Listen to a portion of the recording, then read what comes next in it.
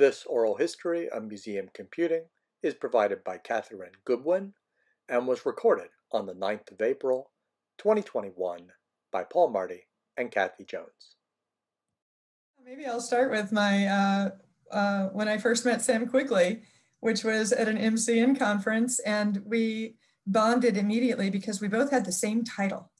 Sam was at the MFA in Boston, and I was at St. Louis, and we were both are both had invented our own job titles, and we were called information resources coordinators because nobody was doing this work in museums. Nobody knew what to call, how to describe it, how to how to how to how to write a job description for it, what kind of background was necessary. All of those things were challenging, and uh, so Sam and I thought we were both pretty clever for having come to the very same job title independently of each other, as great minds will do, right? so anyway, Sam was when Sam was doing this work at the MFA, I was at the St. Louis Art Museum where I started in 1991 um, as a volunteer. And again, probably it's a very common story. How do you get into museum work? Well, first you have to volunteer and and sort of prove yourself and prove your interest. And at least this is the way it used to be, and maybe still is. Um, I had very purposefully um, volunteered at the St. Louis Art Museum because I read in their annual report that they were going to be automating their collection, as it was called in 1990. And uh, I was had gone back to school and was getting a dual degree in museum studies and information management. And this was exactly what I wanted to do in the museum that was in the town where I was living. So I started volunteering and I literally, as a volunteer, um, photocopied every object record in the museum to be sent off to what was then, uh, well, still is, I guess, Willoughby and, or maybe not anymore, Willoughby and the Qwixsys database, which was our first collection system. We, we, we scanned, we, we photocopied every accession record and we had to stamp them because, of course, the photocopies were all black and white and any color coding that was in these documents was lost. And so we had to recreate the color coding. And uh, rapid data entry was done by the vendor. The whole collection was put into this very, very, very basic database at the time, of which of course had no images. It was all all text based, black screen, blue letters, you know, that that whole look. at that time, my computer at the museum when I was volunteering had two uh, floppy disk drives, one to start the operating system and the other to uh, save your data. so I, I'm really dating myself, but yeah, I do feel like I sort of have the history of museum computing in my career as I think both of you do as well. But so I started from the ground up at, at the St. Louis Art Museum and uh, brought that collection into an online database and then was hired to manage that database. And by the time I left there, I had a staff of uh, two full-time catalogers and someone who was doing digital image management. Because at that time, again, still when I left, um, in 2005, the museum in St. Louis still wasn't doing direct capture digital imaging. They were, they, they were scanning transparencies, which we were doing ourselves. We did that ourselves for the entire collection in St. Louis. But by the time I left, we had uh, digital images in our database and we had the core of the collection online. Now, when I say the core of the collection, the other thing that was really interesting about the challenges in that time was just the idea that all this information about objects that curators had been working on for their entire careers could suddenly be publicly available. It was incredibly threatening to curators, I think, at the time. And it really, and, and in fact, this never did happen in St. Louis, and it hasn't happened still, to my knowledge. The mandate that comes from the director that says, you know, folks, we have to share this information. It doesn't really belong to us. The collection needs to be made accessible. And so all the objects are going online and you can come along and fix up your records and correct things as we go along. So that, you know, striving for perfection was a real um, obstacle for a lot of institutions, I think. The notion that nothing could be online unless it was completely perfect. And research, all the research was done, which is just an impossible task, right? Because everyone knows that cataloging museum collections is a never ending process. It's always changing, data is always changing, scholarship is always changing. So I guess that's a job security um, thing, if nothing else. So anyway, we I was I was uh, I was really fortunate in those early days to be able to go to uh, get involved in the MCN community. And I was, in fact, sent off in my early days at St. Louis to what was then called um, an art and architecture thesaurus workshop that was run by Elisa Lanzi and uh, Suzanne Warren, who worked with the AAT in, in early in her career and the woman who really had been driving the development of the AAT. And it was all still books. It was books. It was volumes and volumes of reference. And this was prior to its adoption and stewardship by the Getty. So this was when the AAT was a project on its own. And I was I went to Chicago for a week long conference on how to apply thesaurus and authority authorities to museum cataloging, which was definitely fundamental in my in in my career. You know have given that museum cataloging was not a, a field that had accredited accredited training programs these um, independent uh, workshops and training programs were the ways that we learned how to do this work because there were no official training programs for this kind of work. And, and, and I'm not sure how much that's improved. It's improved, but not entirely. I know, Paul, a lot of the work you've been doing has been helping that. But anyway, the AAT workshop was a fascinating thing. And um, following that, I was, I was fortunate to be able to attend two different summer institutes at for libraries, museums, and archives that the Getty hosted with uh, UCLA. This was a very um, formative training program, again, for museum professionals in information technology. And um, that's where I first met Howard Besser, who was teaching us all about digital imaging. Back in the day when the biggest problem that you had to solve was how you were going to store the files because the storage was so expensive. That's now the least of our problems, I think. Um, so I, it, has been a really wonderful journey for me being able to be in, in sort of on the beginnings of all of these technologies and the evolving of the field and um, to the point where in my own career after 15 years in St. Louis, I had the opportunity to move to the museum at Princeton, where they were in the exact same place that I had started in St. Louis 15 years before. Uh, with the exception of the fact that they had already done the very core data object record creation. They had object records for everything, but there was no, there were no data standards, there was no system, there was no digital imaging. So all of that, we started fresh uh, with one other person on that team who is on the imaging side in 2005. And um, again, working with the gallery system, this time with gallery systems uh, software. And I guess probably the most challenging and rewarding both aspect to this work for me has always been this invisible piece, which is bringing along the rest of the institution.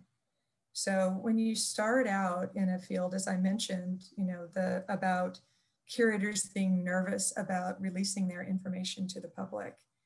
Um, when I first came to St. Louis and was charged with putting the collection online, I had individual conversations with all the curators, talked about the kind of work that we were going to be doing and the help that I would need from them.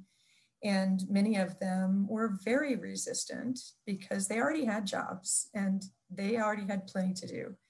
And this was not uh, part of what they had been planning for.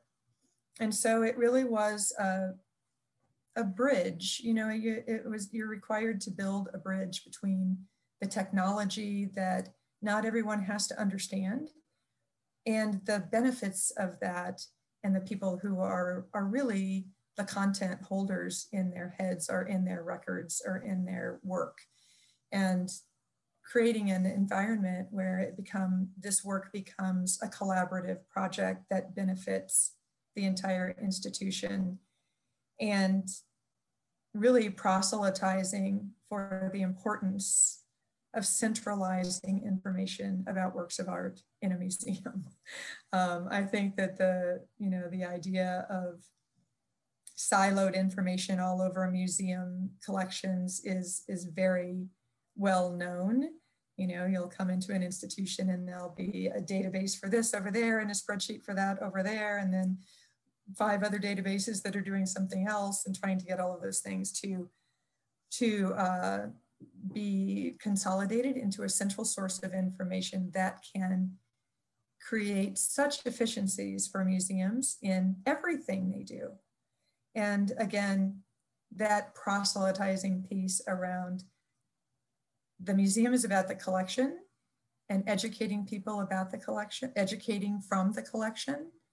And in order to do that, you have to have information about the collection. It really is pretty, it's the very solid third most important piece that a museum can do is, is very, uh, as professionally as they can, create a centralized repository with that makes the collections discoverable so that others, researchers, students, the public can know that they exist. I mean, this is in, and certainly now, this is how people know that collections exist in the first place. Um, I think that's probably one of the things that I have done in my career, and I think most people who are doing the kind of work that I do are, are really charged with, but that isn't really in the job description. it's not in the job description that you need to be really a, a, an incredible diplomat and be able to bring people together around a common cause and argue for your program.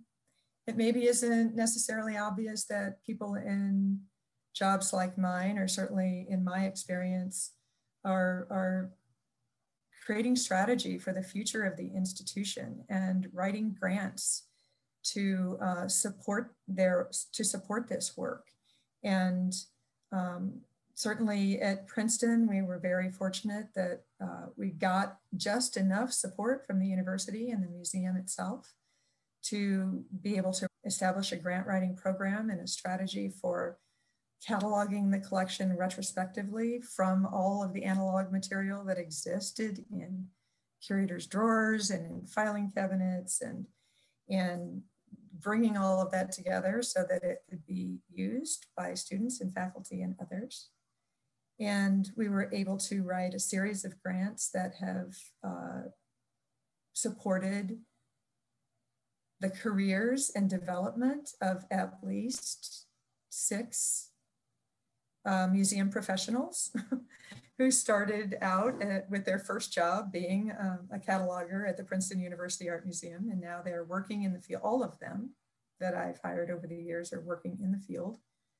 And so that's also very gratifying, you know, the ability to provide, to, to, to generate funding that provides uh, entry level positions for um, and entry level positions that actually pay more than minimum wage, which I think is also a critical aspect to the work that we have to be constantly advocating for is the professionalism of the field. It, it, this has been a, a, an issue for a long time. I think it continues to be.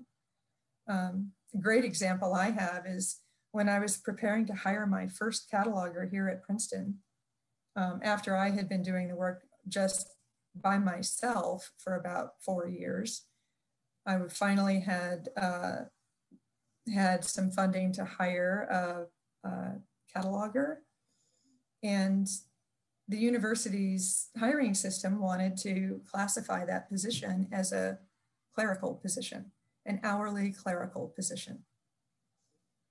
And so I literally had the compensation officer from HR come to my office and I walked through the entire process of what's involved in cataloging a work of art so that they could under, begin to understand that this does not correlate to um, typing up dictation. This is this correlates to catalogers in libraries who are being, you know, whose jobs are classified at a completely different level than catalogers in museums. And that has been, I think, probably one of my primary um, goals and ambitions during my career is to try to contribute to the professionalism of the field because it has been it has really been a challenge and it continues to be a challenge as we all know museum museum workers are underpaid uh, and and in technology are often their work is often very under, misunderstood. So now i'm getting near the end of my career. I'm actually planning to retire in about three months. So uh, it's a it's a wonderful kind of wrap up moment for me, transitioning um, off all of the work that I've done and the and the programs that I've built at Princeton to um, completely marvelous team that I was able to build. We've got a staff of six, two full-time developers, two full-time catalogers, three full-time catalogers, and um, include, you know, within and in my position. So I feel that uh, it's it's a it's time to let let these uh, young people see what they can do.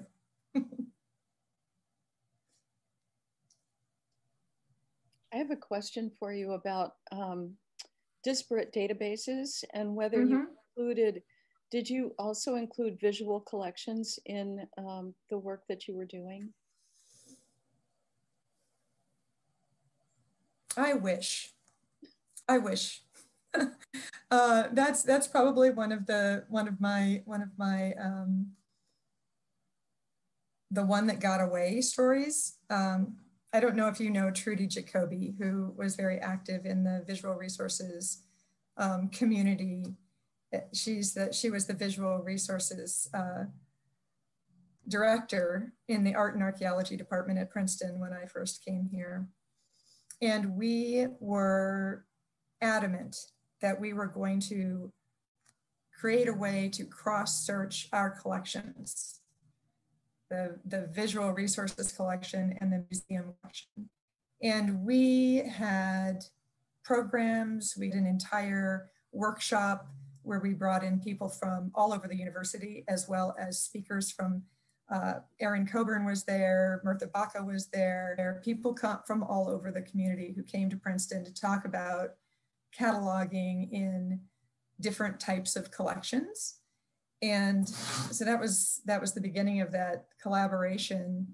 We wrote a number of grants to try to get funding to um, be able to create an integrated system between holdings that they had in visual resources and that we and holdings we had in the museum and unfortunately, we were never able to really get that off the ground. I think that it may happen after I go because honestly, the technologies that are available to us now have changed the possibilities just exponentially, right? So,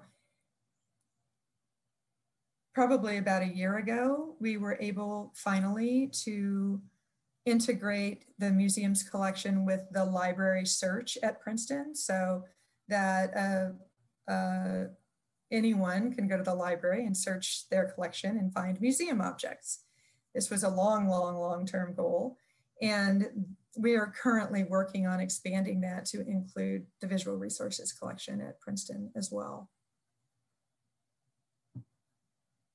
Thank you for that. For us, it was something that came through the library system, the support and all of that. So it's not mm-hmm. surprising, mm -hmm. but glad to know about that. Thank you. Mm -hmm. Sure. I guess that's the thing I probably should have talked about a little more is the library, archive, and museum collaboration part of my work, which has also been a, a major focus for me um, since, uh, even since I was in St. Louis, because just because of staffing reasons, um, while I was there, I also was tapped as the system administrator for the museum's library catalog system. And so I didn't get deeply involved in the cataloging work for the library, but I was involved in the system support side. And I was involved in, uh, in St. Louis, there is a, a cultural heritage district, if you will, between the zoo and the botanical garden and the historical society and the art museum. And they created a joint library consortium that we were part of. And from that moment, I got very interested in the in the uh, integration of library archives and museums collections and ways to make effective cross discovery possible. And that has probably been the other main focus of my work beyond um, moving along the state of, of, of library or museum cataloging uh, to the place where we are now. And again, going back to the changes in the technology, um, we were able to hire a developer with one of the grants that we wrote and that allowed us to create and write an API to our collections database and to uh, set up a triple IF server for our image delivery. And subsequently, our data was open our data was accessible, and all of these other things are possible now, right? So that cross discovery becomes a real achievable thing.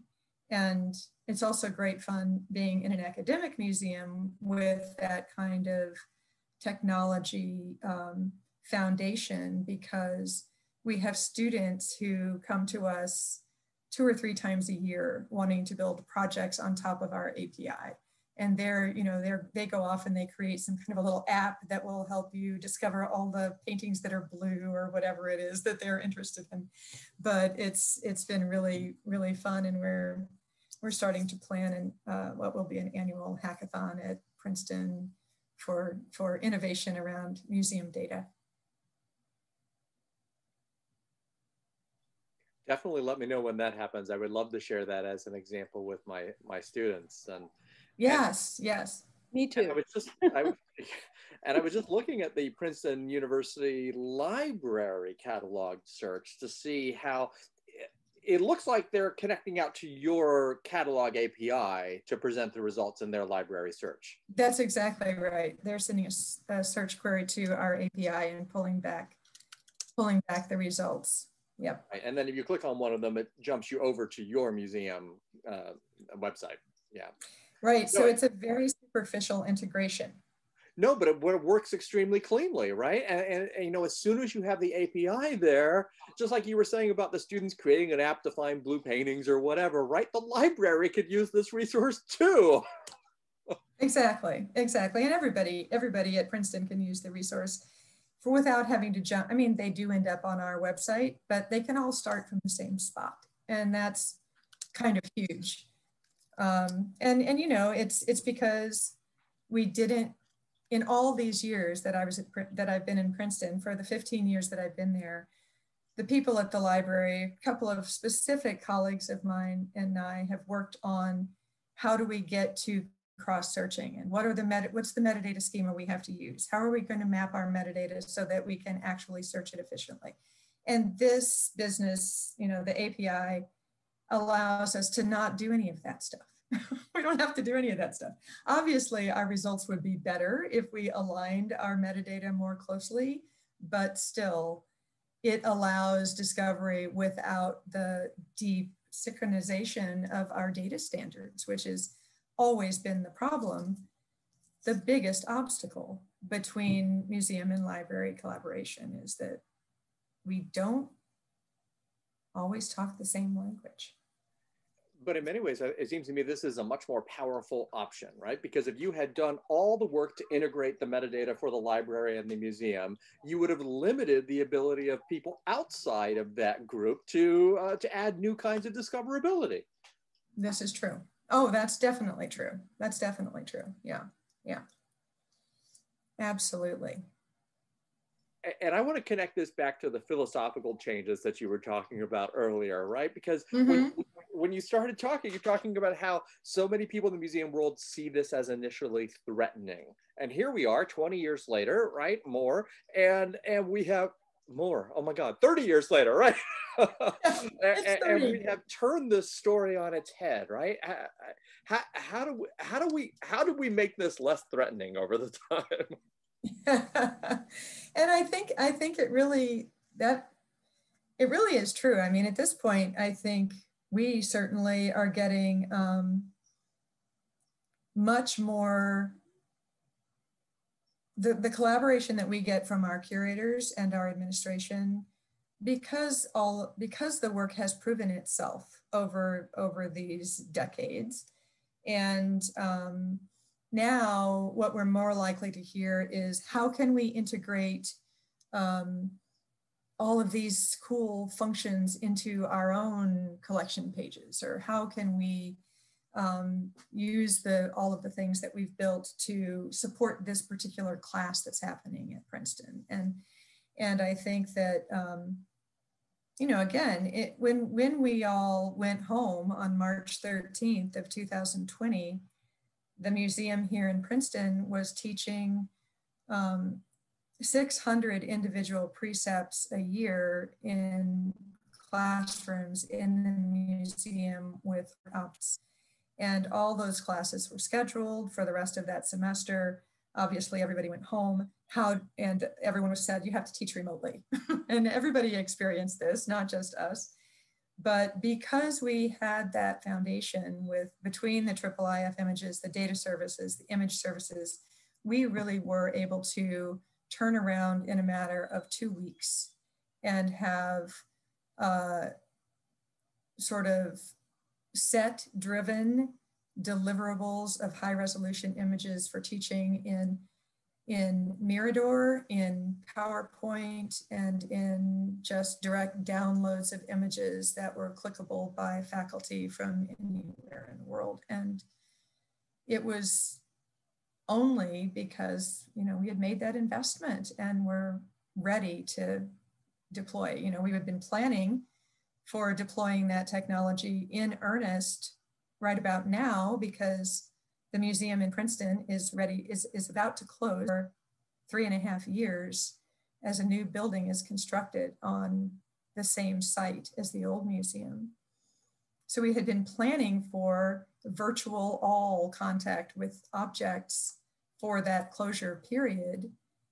And it just happened a little sooner than we thought it would. Did you say a new building on the same site? So you're moving everything out and then back in. That's exactly right. All the art, all the people, all the furniture, all the files, all the everything.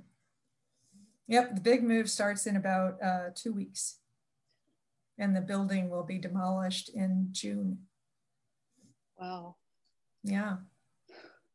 Right about the time that I retire. I planned it so that you when the wrecking ball hits the building, uh, that will be my retirement party day. well, you know, like like we always say, the I think about a museum move is that it gives you a real opportunity to well change the way of thinking, update all your collection inventories, right? Um, yep, yep, that's right. That's right. Slate. Mm-hmm. Yep. Well, there are lots of ideas floating around about what will happen during that time in the in the background in storage facilities and probably some kind of uh, digital recognition uh, system will be put into place so that inventory can be automated and hmm. uh, information can be more precise. That is one of the main goals for during that time period because our new museum is meant to have um, extensive visible storage. And so we need to be able to provide ways for the public to identify works of art without labels. so that will need to be some kind of a digital transmission of information from the object to the visitor. And so we're that's something that we're working on right now. That's it. It'll be a it'll it'll be that handheld device that everybody has, right? Yeah. Do you yeah, have any thoughts yet like, on? Oh, sorry. Oh no, I'm, I'm sorry. I was just asking if you have any thoughts yet on what technology they're going to use, like RFID chips or near field or what? Or yeah, I know. We're well, we're in the re- we're in researching mode right now about that, trying to figure out what's the best thing. I mean, I guess there's also the possibility of doing something that's non-invasive, like actual image recognition. Which is what I'd like to see. Hmm. I'd love to be able to see that, but you know, we'll have to do a lot of testing around how accurate that can be with three-dimensional objects and you know things that have a lot of similarities. Yeah, so through glass and, and visual storage, open storage. Yeah. Yeah, yeah, it's challenging. It's definitely challenging. They did a wonderful uh, project like that at the Barnes Foundation. And um, of course, the advantage of the Barnes Foundation is that nothing ever moves. it's always in the same spot. That's part of the part of the deal, right? You have to install it this way and it never gets to move. I haven't heard that as an advantage before, but that's great. that's probably the only one that they that the folks who work there think of. But yeah, it's a different story when things are just moving all the time.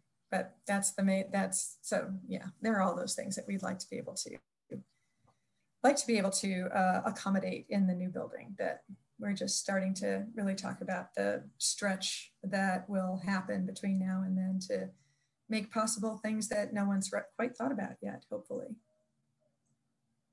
should be pretty exciting. It's a great time well, for it. Back, I'm, I'm sorry, I was going to say it connects back to what you said earlier about the, the job of the information professional in the museum to change the thinking of the museum staff, right? To give people mm-hmm. comfortable thinking in new ways. Right, exactly. That's exactly right. And I think, um, you know, one of the interesting things that's been happening recently as well is this sort of I mean, really, the leadership role that we take in conversations about inclusive inclusivity in uh, description of works of art and how we need to be thinking about the way we discuss artwork, the way we discuss artists, the way we label people. Um, and there's been, we have two different working groups right now in Princeton that consist of educators and curators and technologists around um, how these descriptive uh, guidelines will change, need to change, and what is essential in changing them appropriately, a lot of which includes um, input from impacted communities and outreach into those communities so we're hoping, in fact, I just right before this got off a call with folks in the library at Princeton who are interested in the same topics, obviously. So we're working on a collaboration, uh, cross Princeton collaboration, so that when those consultations take place, we can do that as an institution rather than as the library having the conversations and then the museum having the conversations. And we'll hopefully all end up with a common set of goals and aspirations for changing our descriptive uh, practice. I, I, was just, just, this is just reminding me that when we when we got an oral history from Marla Misunas at SF MoMA, you know Marla? oh yeah. Yeah, she talked about that they're they're working on the same problem there, uh, handling uh, inclusivity and descriptions of work of art at, at SF MoMA. So Mm-hmm. Mm-hmm. It's, it's neat to see so many institutions working on solving this problem at once. That's exactly right. Yeah, and yeah, I would love to see. I would love to see. I know that there is some uh, cross fertilization on that topic. Uh, that's sort of maybe started with the MCN list. Um, I'm not sure quite where it started. I know that there's a there's a very active Slack channel where folks in museums across the country are talking about these issues and and what what are the what are the things that we can do to try to take this journey together so that we don't end up in a whole lot of different endpoints that we then have to reconcile. Yeah. There, there's a good example too about needing to keep up with technology, right? I mean, as the MCN list service kind of fallen down, there are all these other venues. Like, am I following the right Slack channels? I know I'm not. Am I on the right Discord servers? I know I'm not, right? oh, that's definitely true. That is definitely true. Um, so many, so many new ways of keeping everybody uh, connected that I probably don't know about many of them. I can imagine that I don't at this point. So, yeah, I think that, um, you know, museums are obviously in a very challenging position right now, right? Uh, the, the, the ground feels a little shaky. The, the challenging, challenging aspects of um, accepting the fact that museums are not neutral and that the things that we say have have impact way beyond what we might originally have thought and so there's going to be a, a lot of relearning and repositioning and re uh, prioritization i think for both well for museums in general and certainly for the the technologists that support uh, the missions of museums have a huge role to play in helping to break down those biases and uh, opening the dialogue in a much more um, fair and inclusive way. I, I, love the way you covered the sort of philosophical sweep uh, that you've seen of, uh, across these institutions and across the across these years. Um, it is I think I've said I think I've said this line in a couple of these as well. Like I think back to some of the conversations I had with Ken Hamma at the Getty about open access. You know, yep. uh, more yep. than 20 years ago in the late 90s, yep. and we look at where we are now. We we've. No matter the problems that we do see, we have seen some amazing philosophical growth. Oh, absolutely, absolutely, and and it's it's just really encouraging and hopeful, as I say, between the open access movement, um, which is just vastly altered the landscape for research and scholarship and publishing around art. Um, and these technologies for image sharing and data uh, delivery, the and what we know about linked data and the possibilities of, of applying linked data principles to museum data is it, it's going to be a very exciting next 10 years, I think. I think it really will be.